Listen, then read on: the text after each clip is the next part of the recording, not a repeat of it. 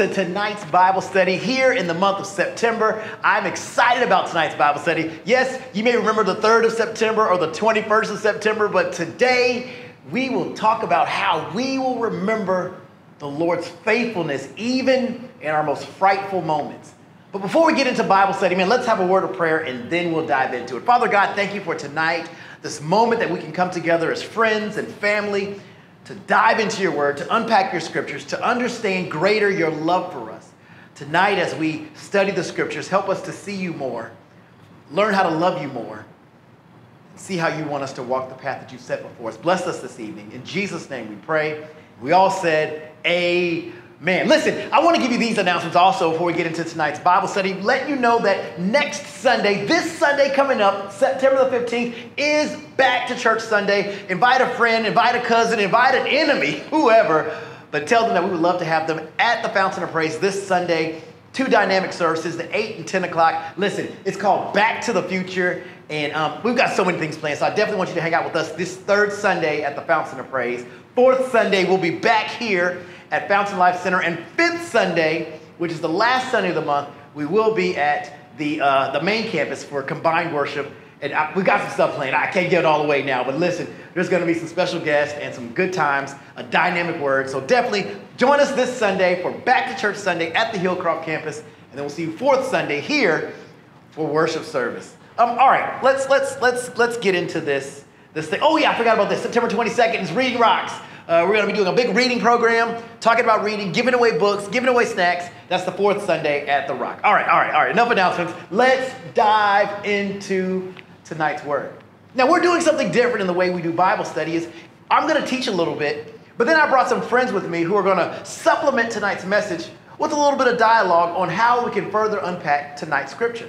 Our scripture tonight is coming from the book of Exodus, chapter 14, verse 14. Well, here's the backstory. Moses, you know, the one whose, whose name means to be called out, he was leading the children of Israel out of Egypt and away from Pharaoh's grasp. This is Exodus chapter 14. What happens is Moses has done the things. Remember, he had the rod in his hand and he, he did all the things with the frogs and the locusts and the, the, the, the water that was turned to blood. He did all these things. And Pharaoh, and, and then of course, there was the, uh, the death angel that came over where we get Passover. Bible says that the children of Israel, they leave Egypt. And Moses is leading them out of Pharaoh's grasp. And just as they are outside of the gates, just as they've gotten away, the Bible says that Pharaoh realizes that the servants, the ones who were doing all of his work, were gone. And, and then obviously, Pharaoh gets upset at the fact that these children of Israel have left his grasp. They've left his power. They've left his dominance. And he's thinking, oh no, now I've got to do all the stuff that my servants were doing. Bible says that Moses' people, or Moses, not Moses, but Pharaoh gets angry, indignant, just downright upset that these people are gone. If you go back and read the story in Exodus 14, he says he gathers the chariots and he gathers his warriors, he gathers all of these things to go and chase the children of Israel. The Bible even says that they were so mad when they left the Pharaoh's place that they were riding with their fists in the air. Can you imagine that? They're like, We're coming to get you. Children of Israel are running away. Finally, the children of Israel are stuck here at this shoreline, and Pharaoh's people are right up about to get to them. Pharaoh's people are, are, are coming to get the children of Israel. The children of Israel, they turn to Moses and they're upset now at Moses, saying, Moses, why would you bring us out of Egypt to die here in the wilderness? Isn't it not better that we served Pharaoh and we served in Egypt than to die here? He said, Were there not enough graves in Egypt? Why would you bring us out of Pharaoh's hand to die here in the wilderness? And our scripture verse today, Exodus 14, Verse 14 says, that, eh, or we'll start at 13. And Moses said to the people, Do not be afraid, stand still and see the salvation of the Lord, which he will accomplish for you today. For the Egyptians whom you see today, you shall see again no more forever. Verse 14, here's what it says The Lord will fight for you, and you shall hold your peace. I, I like those two verses because I think someone needs to hear and even see today that you should not be caught up in the one good thing that someone has done and miss the 99 bad things that they've done. I think we get messed up in our toxic relationships and our toxic friendships or even our, our toxic, uh, um, uh, I don't know, activities that we get into because we have one good moment that we think that it will dismiss the 99 bad moments. They, this friend that is always dismissive to you, doesn't answer the phone when you call, and, and when you see them in the hallways, they got nothing to say to you. But then when they need something for you, they show up and they're like, oh, my best friend. Don't, don't allow them to be that one good thing and then you dismiss the 99 bad things where you're like, I wish they were there. Or maybe that boyfriend or that girlfriend that they'll do one thing nice for you, but then they're rude to you all the other times. See, what happened was these, these, these, these children of Israel, yeah, uh, uh, Pharaoh may have fed them, but he was cruel and harsh to them. And they said, Well, at least we had food, but do you not realize you were also being beaten? Do you also realize you were being starved? Do you also realize you were made to work with insufficient tools? And here, the, the children of Israel said, but it was better that we had to fight for that than to fight for this. Friend, won't you understand that God is fighting for you? And even though he's fighting for you, that doesn't mean that it won't be a fight at all. Here's exactly what he says. There's at the shoreline, and in Exodus chapter 14, verse 13, Moses tells the people, he says, Stand still and see the salvation of the Lord. I like that moment right there because I think what happens more often than not in our lives is we find ourselves chasing any and everything trying to find peace. I've told you this before that there are no uh, uh, temporary solutions will never give you a permanent answer. We're running to different things, trying to find a solution to our pain. It, it may be something we've ingested, it may be relationships, it may be uh, negative things that we should not be doing with our bodies. And all we're trying to do is find something to make us feel better. And although it may make us feel better, it's momentary. The only thing that can give us a true peace, to give us a true joy, is Jesus Christ. And so Moses is having this conversation with these people that would prefer to go back to their pain than the promise of Jesus Christ or the promise of God. They say, We would rather die in Egypt than to die here in the shoreline. Moses says, Stand still and see the salvation of the Lord. And many of you are fighting battles that God said, I can fight for you. And he tells them in Exodus chapter 14, here's what he says The Lord will fight for you, and you Understand that just as much as God has a job, so do you. He says, You shall hold your peace. How do we hold our peace? How do we hold on to the fact that even though we're not fighting, God is fighting for us? How do we stand still? And despite the, despite the fact that we know that there are things trying to take us out, how do we stay in the game when life is trying to end us? It's holding on to God. It's, it's this it's the Bible says to be anxious for nothing, but in everything through prayer and supplication with thanksgiving, submit your request to God. And it says, and the God of peace, which surpasses all understanding, so guard your heart and minds. What he's telling us in this moment, Moses is telling Israel, and, and I am telling you that when you feel frustrated and overwhelmed and, and uncertain of your next step, I dare you to stand still and say, God, step, step in. Just like Peter, when he was drowning in water, the Bible says he called out, he said, Lord, help me. If we would just call on Jesus, if we would call out to him, if we were to trust him in our most tumultuous times, we'll be reminded that in this world we'll have tribulations, but to take heart, God has overcome the world. I know that the world feels overwhelming to you in this moment, but please, friend, hear me when I tell you this. You don't have to worry, but you do have to hold on to God's unchanging hand. He's never left you, and he never will.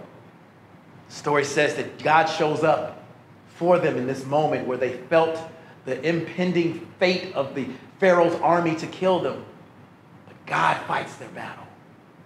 Friend, God's fighting for you, but He needs you to do something too. He needs you to hold on. Don't quit at the edge of your promised land. Now, I want to bring in some friends. We're going to talk a little bit more about what does it mean to stand still? And what does it mean to allow God to fight your battle and you hold on to his unchanging hand. Let's see what they have to say.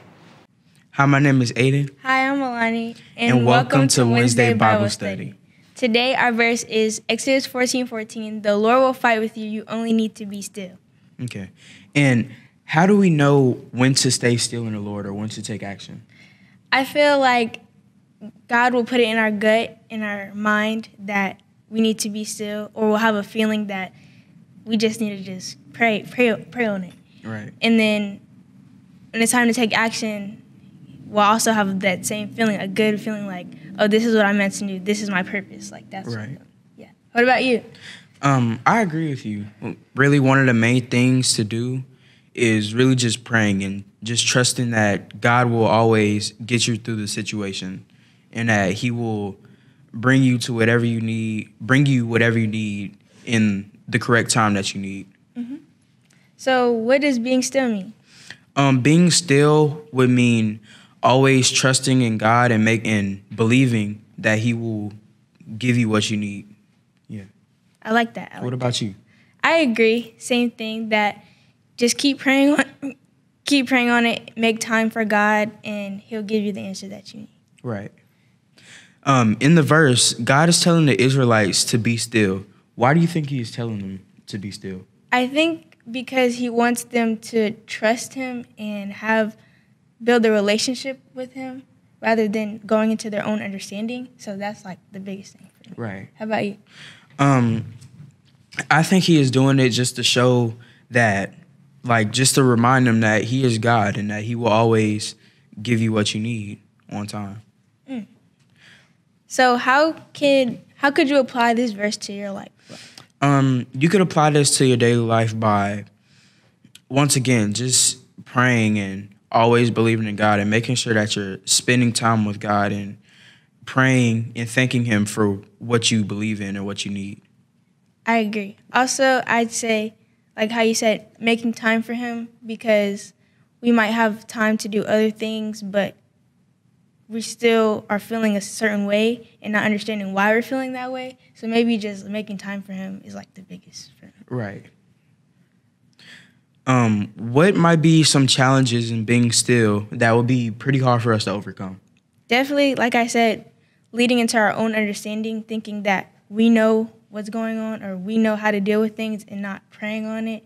So then when we do those things, we kind of fail because it's not right. It's not, we didn't ask God on how we were supposed to do this or if we were supposed to do it at all. Right. How about you? Um, some challenges might be just um, really just uh, wanting to move forward, but if you move forward without without God by, without God backing you up, then of course you're bound to fail, and then you'll be going to God like, "Why, God? Why?" And then He just say, "You didn't listen." So are there any personal experiences you have that you connect with this verse? Um, I don't have any personal experience, but with my mom, um, during the pandemic, you know, a lot of people were being laid off from jobs, and unfortunately, my mom was one of them. So when she was looking for him, she was like, "We're going, we're going to be okay," because she knew that God is going to deliver us and bring us what we need. And then I asked her recently about it. I asked her like, "What, like, how did you know we were going to be okay?" And then she was like she just knew because of past experiences and she kept praying and all she could do was really just pray and believe yeah. what about you Um, I've been in a relationship where I thought that it was something that God wanted me to be with this person to heal them, but then I realized it wasn't my job to heal them, but it was my like I had to help him find God and learn like about him, but I just wanted to stay with him because I thought like, oh, we in love. That, that's my boo for life. Nah, nah, nah, nah, nah. So it was like I knew God was telling me stop trying to be with someone that didn't that I wasn't supposed to be with. So I had to pray on it. I had to make time for God and learn, understand like why I'm not supposed to, why I'm not supposed to, and then I I learned. I learned. right Yeah. Um how can we support others who are trying to be still in god Um, definitely spreading the gospel, letting other people understand how God works for how God worked for me and how it can work for them. So like spreading the gospel, even if it's like posting on TikTok about God or um, telling your friends about experiences, that's way ways to support. right How about you? um really like i really agree with what you did what you said about praying with them because that was that was gonna be my answer. Like just praying with them and reading scriptures with them and just spending time with god with them you know so that they would have time to to um build that relationship with god. Do you think that some kids our age might think it's uncomfortable not like to pray with their friends, or what do you think? Um, yes, of course, because sometimes you don't want people in your personal business. Like it's just your time with you and God. But other times, if you if you would like to share that prayer experience with your friend, like a close friend that would that you wouldn't mind sharing your stories with, then I feel like it'd be perfectly fine. I agree. I also think that kids our age might think it's uncomfortable because they don't have an experience themselves or haven't Yes. um, try to make time for God, so they don't. They might not know like the right thing to say or like. Even I know some kids at my school are in different religions, so they might not think, "Oh, I might come come to him to God. I might I want to pray for you," but they're like, "I don't know" because they're in a different religion. Right. Yeah. So. Thank you for joining us for this Wednesday's Bible study. I hope to see you next time. Bye. So what'd you think? Huh? Good. And we're going to keep doing things like this in our Bible studies. We're bringing in our teams to, to talk about the Bible study, to unpack the scripture verse a little bit more. But I want to encourage you today. If you watched and you do not have a relationship with Jesus Christ, listen, I think about those children of Israel who cried out to God for freedom. And then, as freedom was right there, they were uncertain of the freedom that they were praying for. But thank God that He's faithful. He doesn't leave us, He doesn't forsake us. And maybe today you feel like I prayed to God to show up, and, and now I'm scared because I still see my circumstances, even though I know God is with me. Or maybe you don't even know God for yourself. The Bible talks about in Romans that He says, if you believe in your heart and confess with your mouth that Jesus Christ died on the cross and that God raised Him from the dead, the Bible says you're saved.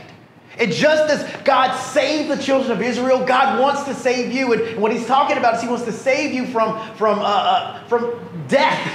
Not that we'll never die, but a death that is a separation from Him. Jesus said, I go to prepare a place for you.